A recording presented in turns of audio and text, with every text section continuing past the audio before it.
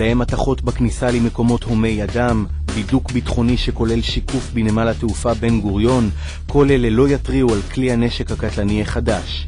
נשק אמיתי שמסוגל להרוג ומודפס בתנאים ביתיים במדפסות תלת מימד.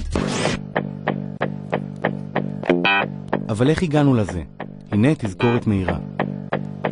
ההדפסה התלת-מימדית חוללה מהפכה. במקום לקנות בחנות צעצועים, מחזיקי מפתחות וכלי בית, אפשר פשוט לייצר אותם בתנאים ביתיים.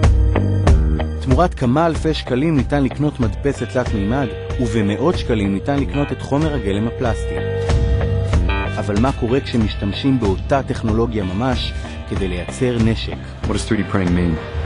In the summer of 2012, a group of friends and I started a project called Defense Distributed.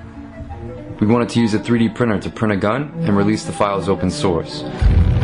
בחודש שעבר הזדעזע העולם מהנשק החדש, הנשק התלת-מימדי. Like science fiction, a gun built using a printer. You might soon be able to print off a handgun in your own home. printable gun ready for download. 3D printing machines where you could print plastic guns. קודי ווילסון, סטודנט אמריקני למשפטים בן 25, העלה לרשת אתר שמכיל חלקי נשק אמיתיים להדפסה ביתית, ולאחרונה גם שרטוטים תלת-מימדיים שיוצרים אקדח אמיתי שיכול להרוג. I yeah. But um, הממשל האמריקני חשב אחרת והשתלט על האתר של קודי, למרות זאת כל הקבצים עדיין קיימים ברשת וניתנים בקלות להורדה. על פי הערכות, בישראל יש מאות מדפסות תלת-מימד ביתיות שעלולות לייצר בקלות מספר לא מוגבל של כלי נשק. מכיוון שלנו אין מדפסת כזאת, פנינו לחברה מובילה בתחום. אנחנו רואים פה את הפריסה של כל החלקים, את הקאט של האקדח, שאנחנו יכולים לערוך אותה, לסובב אותה, להגדיל, להקטין, זה נראה כמו בית הבליעה של האקדח, עם מקום עם שמורת ההדק. אתה מעריך שמשתמש ביתי גם יכול פשוט לקחת את הקובץ הזה ו... ולרוץ איתו נגיד במייקר בוטים הקטנים, ביתיים? לא יודע אם לשמחתי או לצערי, אבל כנראה שכן. מעריך משהו כמו חמש, שש, שבע שעות ייקח לזה להיות מודפס, וכל אחד יכול היום להדפיס לעצמו אקדח. במוצרים כמו כלי, כלי נשק, שבעולם האמיתי משתמשים בחומר שנקרא ניילון, מחוזק אומנם עם סיבי זכוכית, החומר המקביל אליו היום בעולם של התלת מימד הוא או חומר שנקרא פוליקרבונט, שיש לו את החוזק המכני הדרוש, או מכונות שבאמת מסוגלות לייצר ניילון בטכנולוגיה קצת יותר מורכבת, היא עדיין לא זמינה ברמה ביתית, אבל היא קיימת בעולם של rapid prototyping. זאת המכונה, לכאן אתה שלחת את האקדח? נכון. אפשר לצאת לדרך? אפשר לצאת לדרך, לצאת לדרך.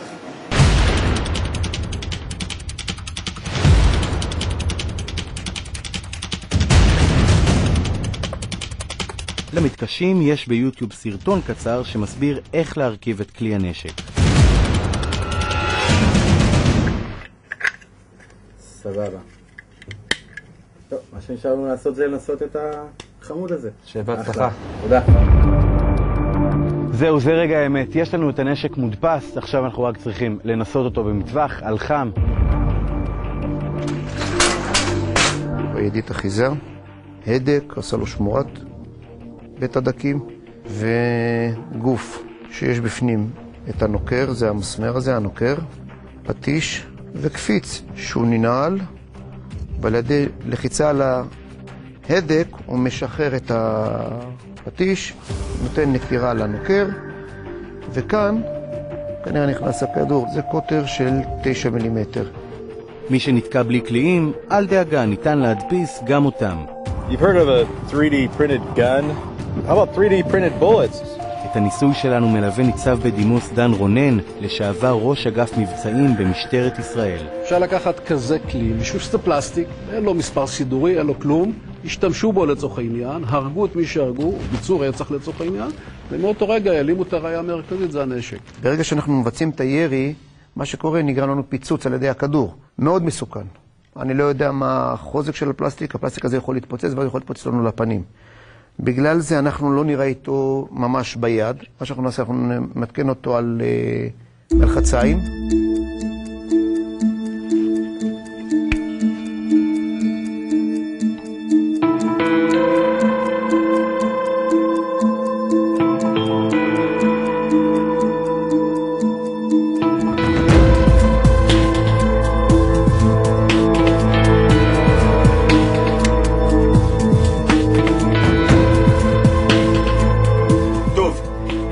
כרגע את הנשק אה, אה, בפנים, כרגע אנחנו יצאנו החוצה כדי למגן את עצמנו. אה, קדימה, לדעתי אנחנו יכולים פשוט לראות, קדימה. אוקיי.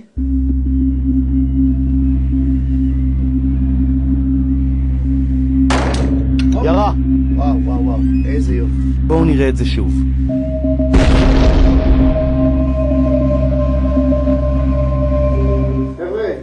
שימו לב ליד- שים לב ליד הכובע. תראה. אה, שם זה פגע? וואו, התפוצץ כל הקנה. הכל נשבר, אבל ירה.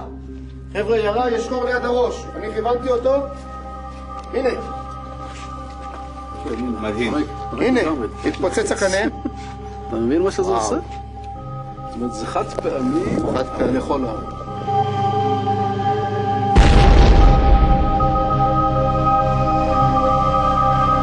הבעייתיות בפלסטיק, שאפשר להחדיר אותו בקלי קלות לשדה תעופה, אפשר להיכנס איתו למס- למטוס, ובעצם, איך אפשר לעלות על פלסטיק?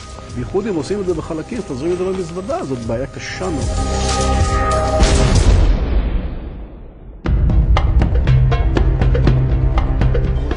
אנחנו ל-75 לשלטון המקומי. עכשיו?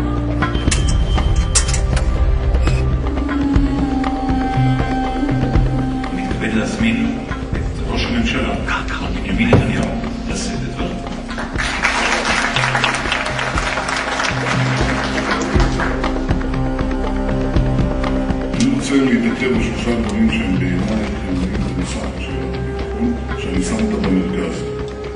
אין שום דבר שאנחנו יכולים לדבר עליו שיש לו משמעות אם אנחנו לא יכולים להבטיח את ביטחוננו.